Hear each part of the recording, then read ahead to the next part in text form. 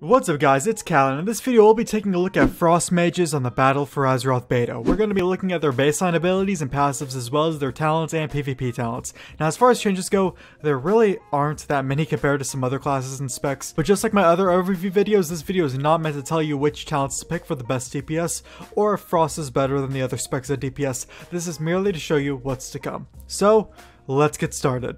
So here are all the baseline abilities for Frost Mages. So there's Blink, Blink is unchanged, 15 second cooldown, you use it, and of course you teleport forward for 20 yards, or until you reach, like, some obstacle. And it also still frees you from all stuns and bonds, so not changed. Uh, counter spell is not changed, 24 second cooldown, this is your interrupt of course. Remove curse is returning, so this was actually removed in uh, Legion, and it does the same thing from before it was removed. 8 second cooldown, and it removes all curses from a friendly target. So that's awesome that that's returning. Uh, and then there's Spell Steal, Spell Steal is unchanged, you know, you can steal a beneficial magic, magic effect from from a target, and that effect can last up to a maximum of 2 minutes. Uh, ice Block is of course not changed, 4 minute cooldown, you know, you, you encase yourself in a block of ice, protecting you from all attacks and damage from 10 seconds, and then you obviously cannot move or attack uh, in those 10 seconds. And then after it's over, it causes hypothermia, preventing you from casting Ice Block again for 30 seconds. And then there's of Cold, not changed, 12 second cooldown. It's a frontal AoE cone that slows enemies in front of you for 70% for 5 seconds. Blizzard is also not changed. You can put down a Blizzard, it does AoE in a certain radius, and it reduces target's movement speed by 50% for 15 seconds for every target in there, and then each time Blizzard deals damage, the cooldown of Frozen Orb is reduced by 0.5 seconds, so it's not changed. Cold Snap is not changed, 5 minute cooldown resets the cooldown of Ice Barrier, Frost Nova, Cone of Cold, and Ice Block. Uh, and then there's Icy Veins, you know, your main DPS cooldown, 3 minute cooldown, accelerates your spellcasting for 20 seconds, granting 30% haste and preventing damage from delaying your spell casts. So, it's uh, not changed.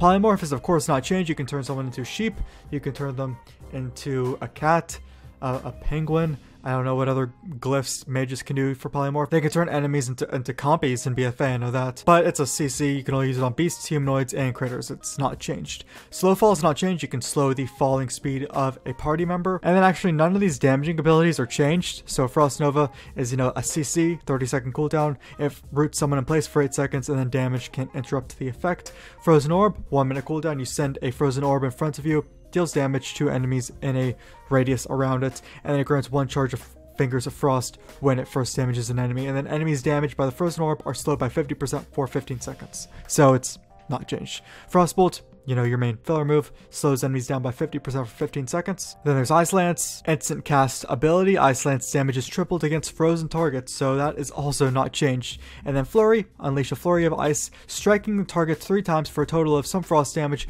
Each hit reduces target's movement speed by 70% for one second. While Brain Freeze is active, Flurry applies Winter's Chill, causing your target to take damage from your spells as if they were frozen. So that is also not changed. As I mentioned before, most of these abilities are not changed. Invisibility also not changed, 5 minute cooldown. Turn invisible over 3 seconds, uh, resets all your threats in the last 20 seconds, and the damage can cancel the effect. Uh, Ice Barrier is also not changed, 25 second cooldown, shields you and absorbs some damage over 1 minute, and then melee attacks reduce the target's movement speed. And then there's summon water elemental. So I'm gonna call my water elemental just to show you what it looks like. That is the new uh, water elemental model looks cool. A water elemental, I mean, not really changed. It's just that the water elemental no longer has the ability water jet. So just as a water bolt, which is its main move, and then freeze, which is just like your frost nova. So, yeah. And then Arcane Intellect. Arcane Intellect is coming back. So this was actually removed in Cataclysm and it's returning. A lot of classes are getting their class buffs back. Mages are one of them. All mages are getting Arcane Intellect. So what this does is it grants your entire raid or party with 10% intellect increase for one hour. So that's awesome that that's returning. And the Time Warp, of course, is your, you know, Heroism or Bloodlust. It's not changed. 5 minute cooldown. Increases everyone's haste by 30% in your party or raid uh, for 40 seconds. And then allies will not be able to benefit. It gives them, you know, the exhaustion debuff. Conjure Refreshment is not changed. You can make food for people, and then you know your teleport and uh, portal spells are still there. It only has one spell just because I I just made this character. I didn't transfer a character from live, so he only has uh which one? He only has Orgrimmar. And also mages can still learn teleport to Undercity, and they can still learn teleport to Darnassus. But if you teleport to Undercity, it teleports you in front of Undercity where it's all burnt down, because as we know, Undercity got burnt down in BFA. And then if you teleport to Darnassus, if an Alliance mage does it, it teleports them to Darkshore, overlooking the burning of Darnassus. So yeah, there's there's that. Now let's take a look at the passive abilities, which there's actually more changes to the passive abilities than baseline abilities, which is it's kind of new for all these class overviews. So first up we have Brain Freeze here. As you see there, Frostbolt has a 25% chance to empower your next flurry to be instant cast. On live, that's a base of 15%, but your artifact weapon may that go up to 23%. As we know, we won't have artifact weapons anymore, but now it's a base of 25%. Uh, and it deals 50% increased damage and applies Winter's Chill to the target. Winter's Chill causes the target to take damage from your spells as if it were frozen. And then there's Fingers of Frost. So Frostbolt has a 15% chance on live, that's 12%, and Frozen Orb has a 10% chance, on live that's also 12%, to grant a charge of Fingers of Frost. So on live they both are 12%, but in BFA, they increase Frostbolt's percent and just slightly lower Frozen Orb's percentage. And then Fingers of Frost causes your next Ice Lance to deal damage as if the target were frozen, and it has a max of two charges. So now your Mastery, which has just slightly been changed, so casting Frostbolt or Flurry, Flurry is a new addition to it, grants you an Icicle. Casting Ice Lance causes all Icicles stored to begin launching at the target, each dealing some Frost damage. Up to 5 Icicles can be stored, any excess Icicles gained will be automatically launched, so that part is the same, but it will also increase the damage of Frozen Orb by some percentage based off your mastery. So buff to Frozen Orb with your mastery, and it no longer increases the damage of your water elemental. Uh, and then Shatter does not change, multiplies the critical strike chance of your spells against frozen targets by 1.5, and adds an additional 50% critical strike chance. So here are all the talents, and I'll also go over PvP talents in case you care about those. But for the talents, kind of just like the baseline abilities, uh, there has been some changes, but not a whole lot, I guess, compared to other classes. But anyways, the first here, for bone chilling, just a small change to it. So it, it, does the same thing. Whenever you attempt to chill a target, you gain bone chilling, increasing spell damage you deal by 0.5% for eight, 8, seconds, and that stacks up to 10 times. On live, that's uh, 12 times. And then for Lonely Winter, so it, it still replaces Summon Water Elemental. You can no longer summon your Water Elemental, but Frostbolt, Ice Lance, and Flurry deal 25% more damage. So it no longer affects Frozen Orb. That's probably because your Mastery now affects Frozen Orb. Your Mastery increases the damage of it.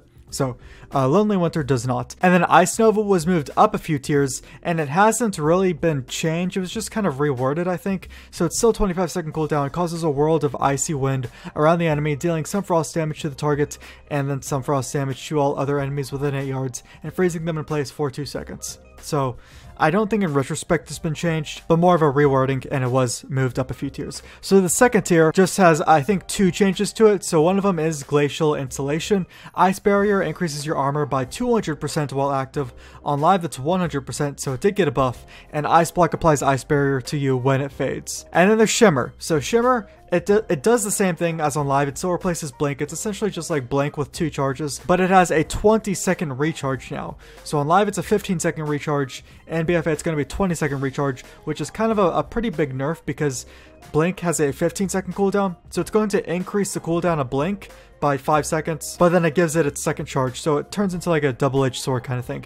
And then Ice Flows is uh, not changed at all. 3 charges, 20 second recharge, makes your next mage spell with a cast time shorter than 10 seconds castable while moving, unaffected by the global cooldown, and castable while casting. And then the third tier, level 45 tier, is actually not changed at all, completely unchanged. Incanter's Flow builds up to increasing your damage by 20%, and then that diminishes down to 4%, and then that cycles every 10 seconds. Uh, Mirror Image creates 3 copies of yourself, 2 minute cooldown, and those copies uh, cast spells and attack your enemy. And then Rune of Power is not changed, 40 second cooldown. You place a Rune of Power on the ground for 10 seconds, which increases your spell damage by 40% while you stand within 8 yards of it. And then the level 60 tier had some changes here and there. So Frozen Touch, I believe is completely changed. So Frostbolt grants you Fingers of Frost and Brain Freeze 20% more often.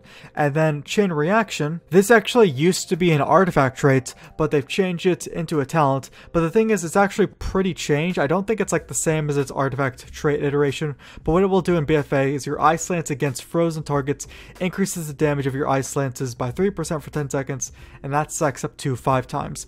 And then Ebon Bolt should look familiar to all you Frost Mages because that was the main artifact ability uh, that your artifact granted you, well, it's it's completely unchanged. It's just becoming a talent now, that's it. So still 45 second cooldown, launches a bolt of ice at the enemy, dealing frost damage and granting you brain freeze. Then the level 75 tier is actually completely unchanged, not changed at all. Frigid Winds passive, all your chilling effects reduce the target's movement speed by an additional 15%.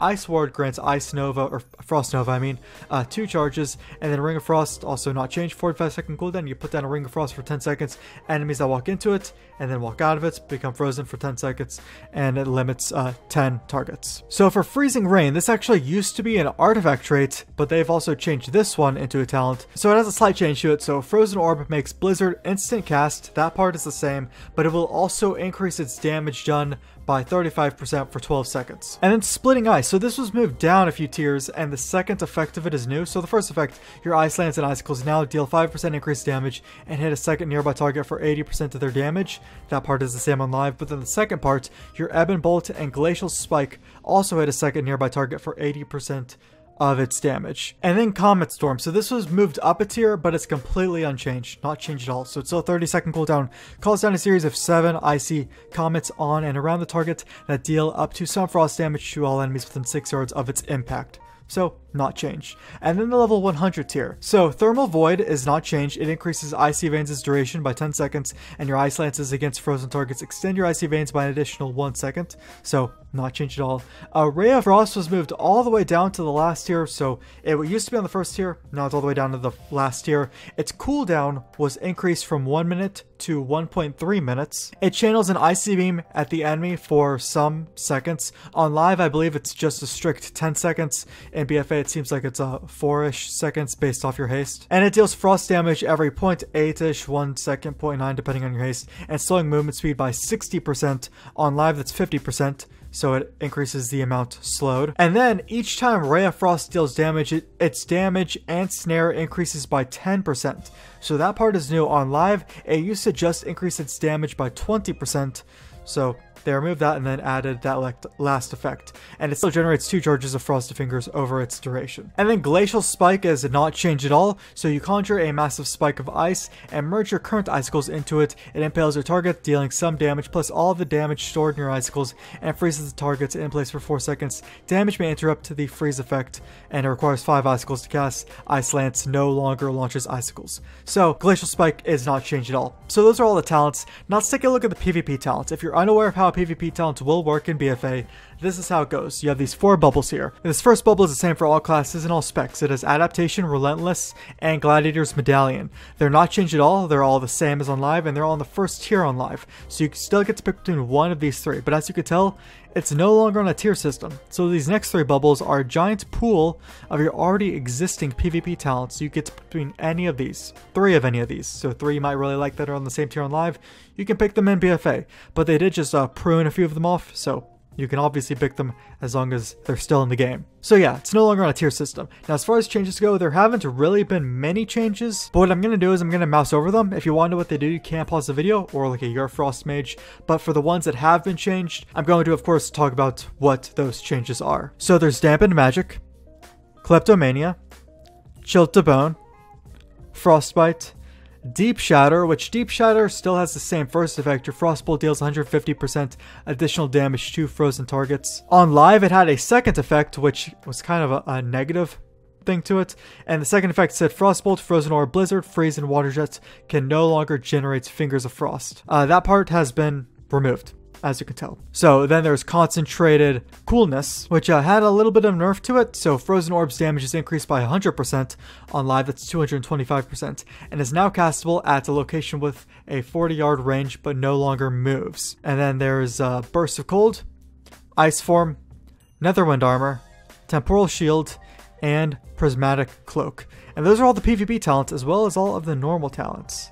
And there you have it. All the changes to Frost Mage is coming in the Battle for Azeroth pre-patch, which is coming on July 17th. So I'm curious as to what you guys think. Do you like the changes or do you hate them? You can let me know in the comments below. But if you guys enjoyed this video, then you can leave a like on it. You can sub to the channel for more videos like this, and I'll see you guys in the next video.